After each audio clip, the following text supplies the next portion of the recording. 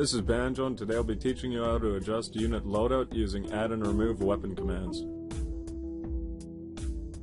By placing down our NATO rifleman we can see his basic kit, which consists of his BDU, his chest rig, night vision, helmet, magazines, grenade, navigation equipment. Next in the unit's initialization field I'll place a remove all weapons command, followed by the unit's name, or this, which refers to the unit that I place the line in. This will remove all his weapons, leaving only his BDU, chest rig, helmet, night vision, and navigation equipment. Leaving us a good template to add to. Next I start looking up the class names. I'll be using SixBrowser for this by typing in ARMA 3, Weapons, and Class List. Next I find the item that I want to add to the unit, locate its class name, as well as the magazines that it uses.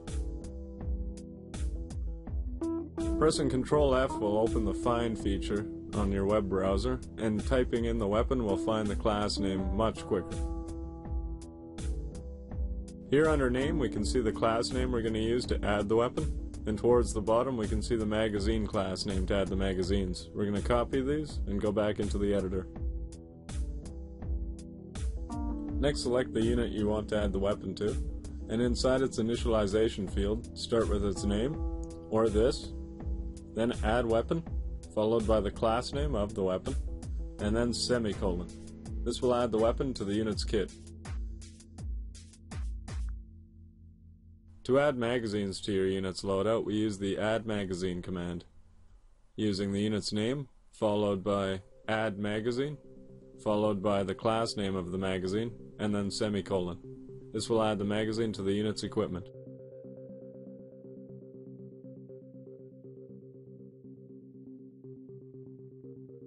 Now that we added our rifle and our magazine, we can now take a look in game.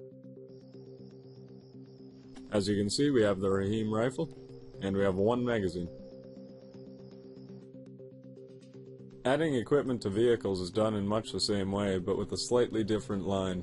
For this we use the Add Magazine Cargo function, with an open bracket, followed by the class name, comma, followed by the amount, and then close bracket, ending with semicolon.